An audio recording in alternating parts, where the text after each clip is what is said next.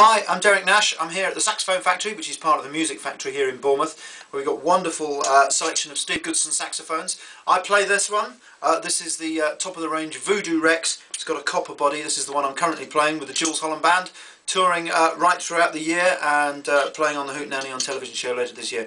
Very, very pleased and delighted. Got hold of this one when I was playing with Charlie Watson and Rolling Stones, uh, and I haven't let go of it ever since. Here we go.